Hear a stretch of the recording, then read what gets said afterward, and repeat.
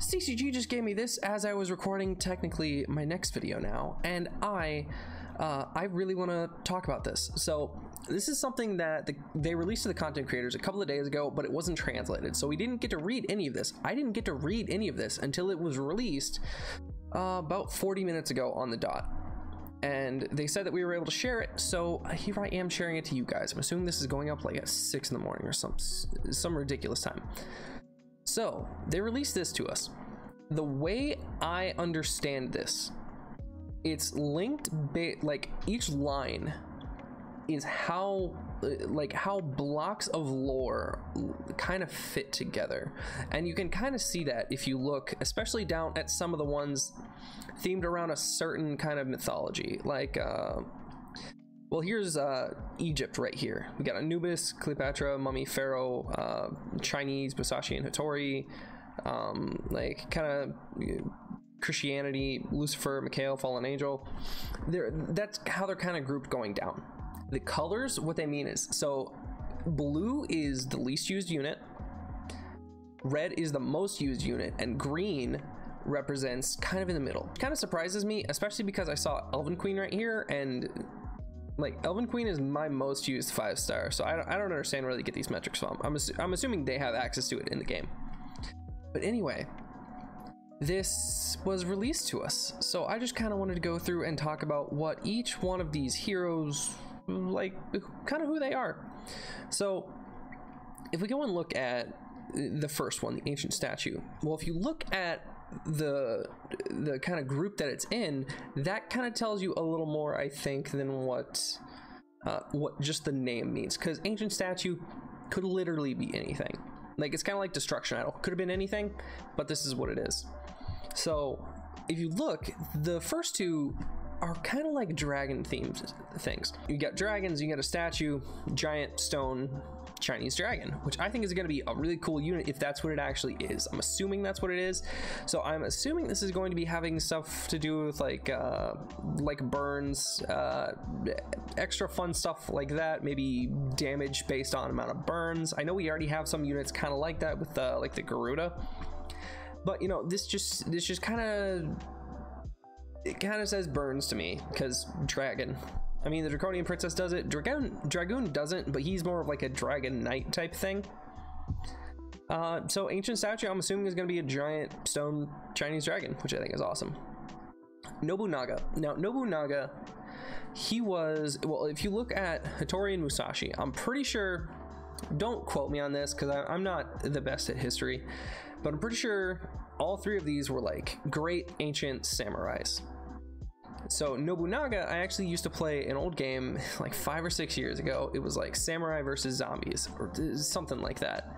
Uh, and Nobunaga was one of the heroes. He wielded a giant sword. He was a great swordsman. So that says attacking unit to me. Uh, we have no idea what their skills are. They haven't released that to us. I have no idea. They, it, this isn't something where they're like, don't tell people. I legit have no idea on this. So that's kind of who Nobunaga is.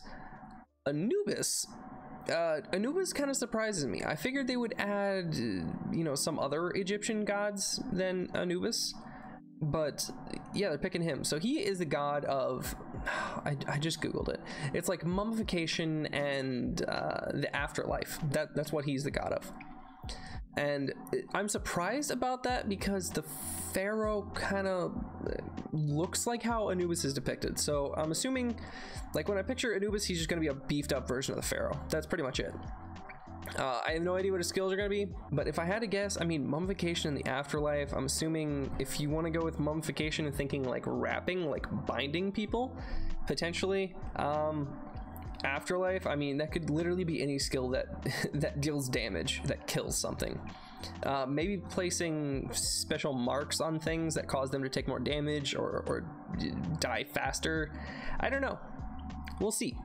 Um, hercules. Now if you know anything about like mythology what you're taught in like third or fourth grade is like one of the first things you hear is hercules.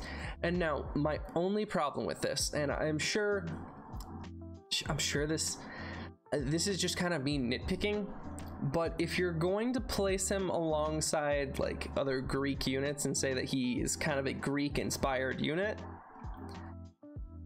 at least get his name right so and this is something I didn't even say in my last video, but Hercules is the Roman form of his name. Uh, the actual Greek term his name is Heracles because he was named after the Greek god Hera. A whole long story, but Zeus was trying to make up for uh, sleeping around on some other chicks, and his uh, uh, goddess wife was like, "Hey, don't do that." And he was like, "Oh, here's a baby named after you." A whole big long stupid thing. Sorry, I just basically told the whole story. But yeah, so Hercules was the son of Zeus, and he was he was like the strongest mortal man in Greek mythology. So what that says to me is more of a tank unit rather than attacker, because strength is kind of more regarded as a tanky type thing in this. Um, so I'm kind of thinking big tank maybe dealing a lot of damage. I'm thinking like an HP type nuker with him. But time will tell. Maybe I'll be right, maybe I'm not. Thor, if you've seen a Marvel movie, you know who Thor is. Thor, Thor's, he's got, you know, a funny hat, uh, he's got a cape, he swings a, a big hammer and deals a bunch of lightning damage to everybody. Uh, so that tells me attacker. I don't know if they're going to add any fun type of skills to that. Uh, we can kind of assume that he's going to be an LD unit because that's kind of where they seem to be wanting to throw like Norse and Greek gods, like god type heroes. They're putting them as LDs. I mean, you can see that with uh, with Odin too. Odin is on here somewhere. I think he's up top somewhere. Uh, but Odin is Thor's father. I feel like I said Zeus a little bit ago. I don't know why I said Zeus, but Thor is Odin's son. It is Norse mythology, not Greek. I don't know why I thought that. Maybe because it's 5 a.m. and I need sleep. Hela is actually Thor's sister. Uh, if you've seen Thor Ragnarok, you know Hela. She's the like Norse god of death. Can do a whole bunch of death stuff, and she's like incredibly powerful. And yeah, like pretty much her whole thing is just killing things. So I'm assuming attack type for both of these units, and probably LDs. Next one, Lilith. I actually had to look this up. Uh, I'm gonna look it up again just because I want to make sure to get it right. She's actually from Jewish Jewish mythology. So Lilith is actually a demon from the Jewish tradition. In some sources, she is conceived of as the original woman created even before Eve. Oh, okay. Okay, yeah, so that makes sense that um, she's linked with Eve right here. I don't know who Tyr originally was. I originally heard he was like a, a like a Babylonian fighter or something. That kind of makes sense actually. Uh, but yeah, so Lilith is regarded as a demon, so I'm assuming she's going to be a dark unit and kind of like the other half of Eve. I don't know if they're going to be putting Adam in the game, but that would be kind of cool. But yeah, so she's a demon, so I'm assuming dark, dark Nat 5 with a whole bunch of fun effects. Uh, the Daji. Now, I had to look him up too. He is something from Chinese folklore, so Daji was the favorite consort of King Zhao of Shang, the last dynasty, the last king of the Shang dynasty in ancient China. She is portrayed as a malevolent fox spirit in legends as well as novels. So that to me, for some reason, it kind of says she's going to be an assist type. Um, let's see. She's linked with Enchantress, yeah. So I'm assuming um, something similar to the Enchantress, at least style-wise. Um, but we can assume that they're going to be. I mean, we can assume they're going to be linked in the lore.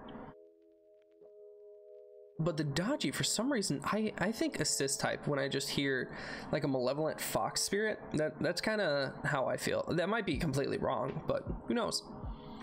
Um, Merlin. Okay, so Merlin is like I, I, I still don't know how to say this, like Anglo-Saxon or Britannic ancient folklore.